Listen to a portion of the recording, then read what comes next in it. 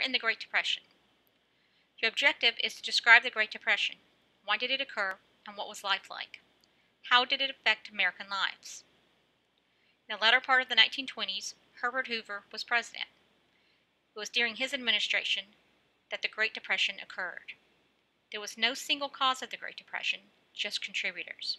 One of those contributors was the stock market crash of 1929, also referred to as Black Tuesday.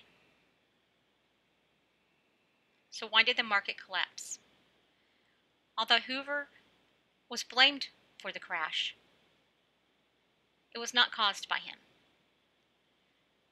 There was a number of reasons for the collapse. First, the foreign debt and world reparations being paid by Germany. If you'll remember, at the end of World War I, Germany was required to pay reparations. Fact, Germany was blamed for the war. This bankrupted Germany. In fact, they were not able to pay all of their reparations. So, when Germany's economy was bankrupt, it affected other European economies and it also affected the American economy. Another reason was the reluctance of Americans to allow debt relief to Europe. World War I was fought in Europe, and it was war torn after World War I, and there was little to no effort to help Europe rebuild, so that damaged their economies. There were high protective tariffs. We have an industry based on exports, so when you export products and other countries can't afford to buy your products, then you don't make any money. It was buying on margin. 30% of the national wealth was based on debt. There was disproportionate gains in the 20s of rich and middle class. Remember, there was an economic boom, but what must come up goes up must come down, as the saying goes. All sectors are not doing well. We have the agricultural sector. In the Midwest, they're in the middle of a drought which is creating problems for the farmers. Textile mills are not doing well. Railroads are not doing well. The mining industry is not doing well. Let me talk a little bit about the Dust Bowl.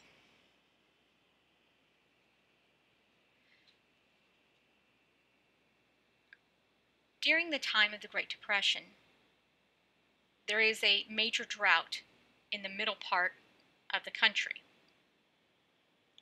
This is where a lot of the agriculture is occurring. Combined with the drought, there is also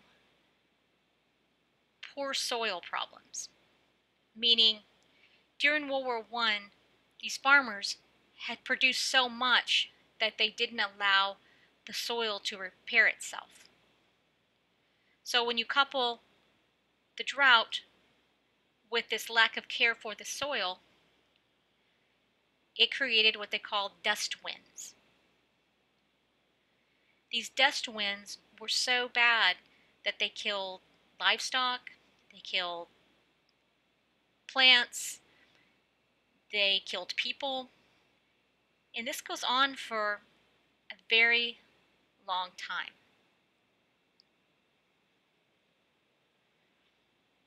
Let me show you a quick little film.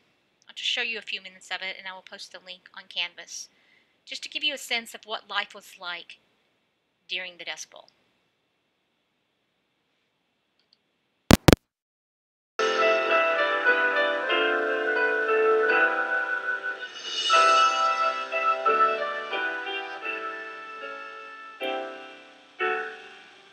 Tonight on The American Experience.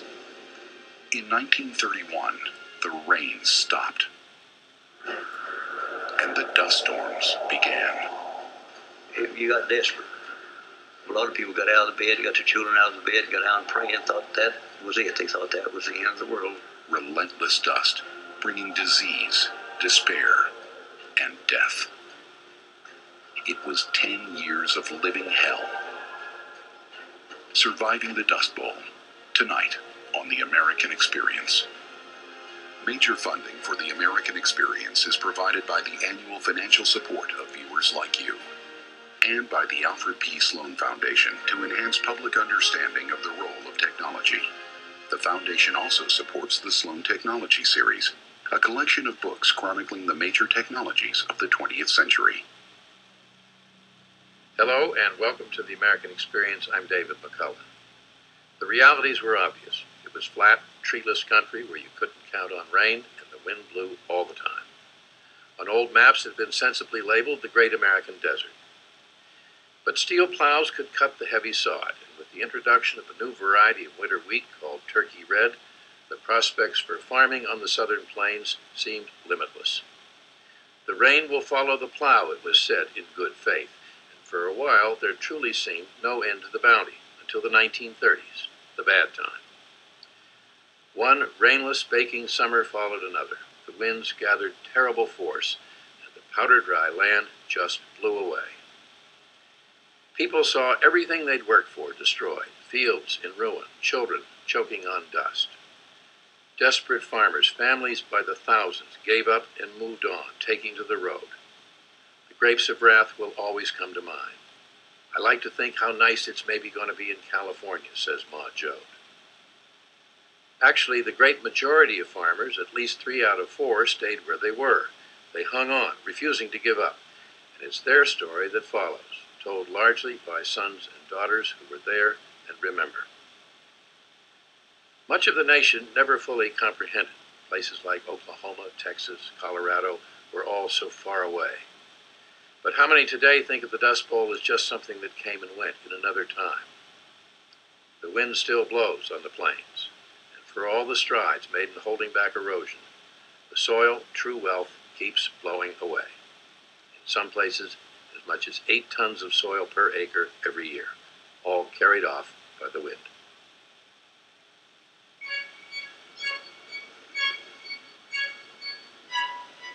Black blizzards, they were called. Dark clouds reaching miles into the sky, churning millions of tons of dirt torrents of destruction. We could see this low cloud bank, it looked like. You could see it all the way across. And we watched that thing, and it got closer. seemed to kind of grow, you know, it was getting closer. The ends of it would seem to sweep around. And you felt like, you know, you were surrounded. Finally, it would just close in on you, shut off all light. You couldn't see a thing. And it kept getting worse and worse. The wind blowing harder and harder. It kept getting darker and darker the old house just vibrating like it was going to blow away. And I started trying to see my hand. I kept bringing my hand up closer and closer and closer and closer. And I finally touched the end of my nose and still couldn't see my hand. That's how black it was. A lot of people got out of bed, got their children out of the bed, got down praying, thought that was it. They thought that was the end of the world. Dust storms engulfed whole towns ensnaring residents in a whirlwind of stinging, blinding dirt. Thousands would get sick from a mysterious illness. Scores would die. When those dust storms blew and you were out in them, well, you spit out dirt. It looked like tobacco juice, only it was dirt.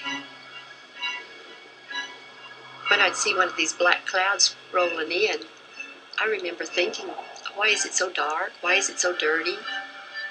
What have I done now? What did we do to cause this?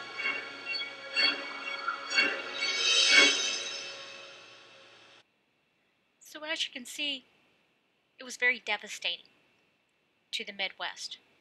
So much so that many would leave. Many would go to California. Some would stay in California and then Others would move back once the drought had ended.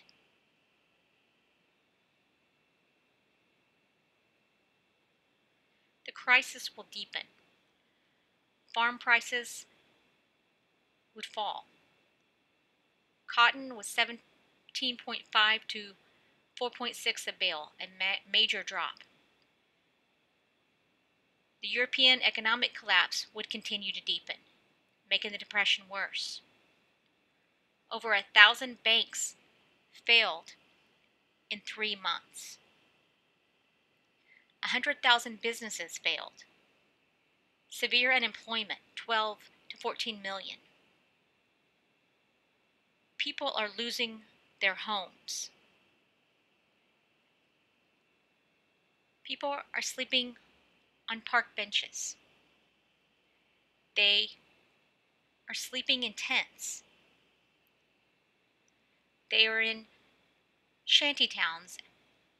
As you can see here, these were called Hoovervilles. So there was a great deal of fear and insecurity of the capitalist system. The American dream was threatened. This will result in psychological depression as well. Americans blame themselves, particularly men. Men who are unemployed felt responsible for their family. They were the breadwinners. Some of them would get depressed. Some of them would get so depressed that they would simply abandon their families. Or they would get depressed because their wives and daughters had to go out and find work to help support them. There was violence on the streets because people were scared.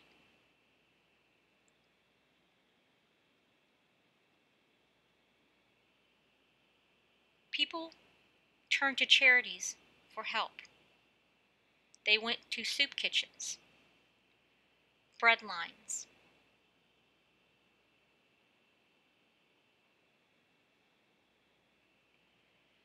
This is a very iconic photo of really the devastation that the Great Depression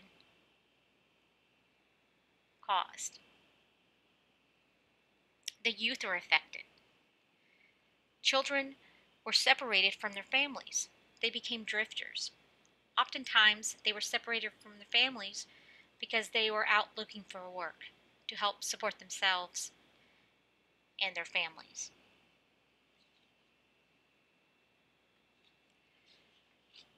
So, what does Hoover do to address this issue?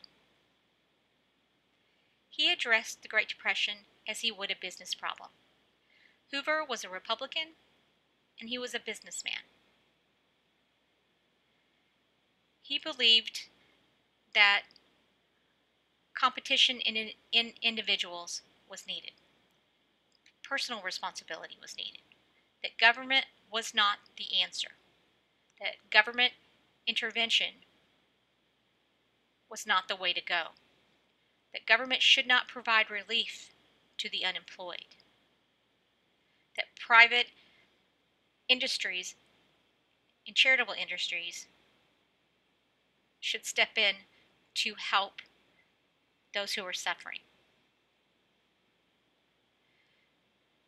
He relied particularly on charities for the soup kitchens and the breadlines. He felt that businesses should offer jobs. In fact, he will provide a tax cut to businesses, thinking that would help businesses create jobs and get people employed again so they could feed their family and end their suffering. What he was talking about here is the trickle down theory.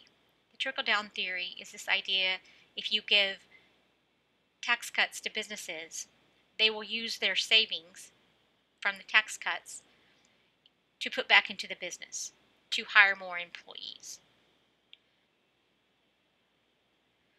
He initiated some public projects. He will create what's called the Reconstruction Finance Corporation, giving 500 million to grant loans to banks for mortgages.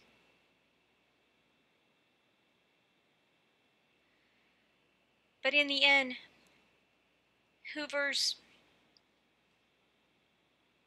methods was too little for this massive Great Depression. It was just too deep. He believed that that the depression would simply correct itself like it had in the past. We've had economic depressions in the past and they eventually correct themselves.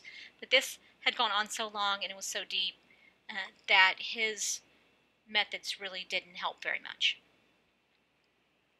There's one incident that I want to mention that happens during the Great Depression, and it was the Bonus Army incident. And this was a gathering of a, a number of former World War I veterans who, in the mid 1920s, were promised bonuses for their services. Those bonuses wouldn't be paid out for a number of years, not until I believe it was the 1940s. But because they were so poor and devastated by the Great Depression, they wanted the government to pay out those bonuses immediately, that they needed that money to support themselves. And they will actually march on Washington. They will show up at the White House. But in response to that, Hoover will send out troops and have them gassed, which was a major optics mistake for Hoover. And it will be his demise because Hoover will lose the presidency to FDR. But that concludes this lecture. As always, let me know if you have any questions.